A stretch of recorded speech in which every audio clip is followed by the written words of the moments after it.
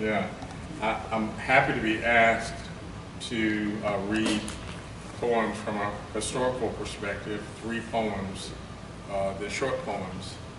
Uh, and the ones that uh, uh, David sent, sent me were really great, uh, 19th century poems, uh, which I know quite a bit about the 19th century. Uh, and so I'm going to read two of them that he sent me. And then since we're on this uh, tent of uh, deviating from, from recommendations, I'm going to read, uh, a, do a poem by Paul Laurence Dunbar, and I will tell you how he's connected to Virginia, right? So uh, I get my glasses out here, which my eyesight is not what it was when I first joined the PSV.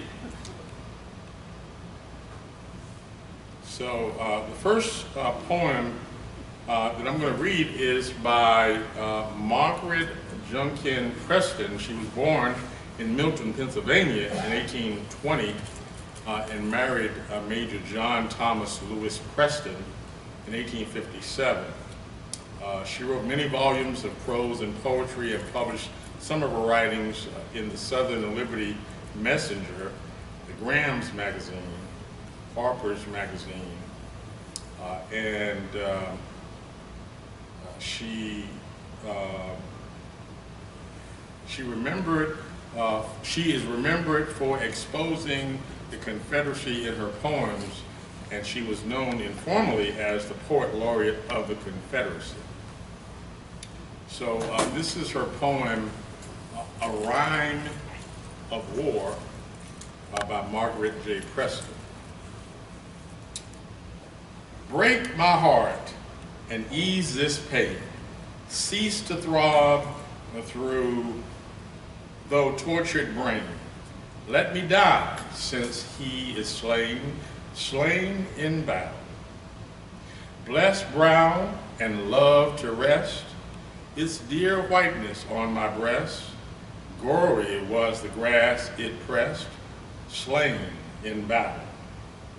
Oh, that still and stately form nevermore will be warm, chilled beneath that iron storm, slain in battle.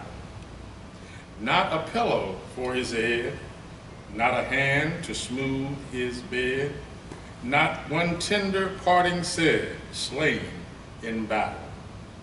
Straight away from that bloody slod, sod, where the tramp, trampling horsemen trod, lift to the arms of God, slain in battle. Not my love to come between with the in, in, interposing screen, not of earth to intervene, the purple billows o'er, through the uh, flindish rage of war, to the far and peaceful shore, slain in battle.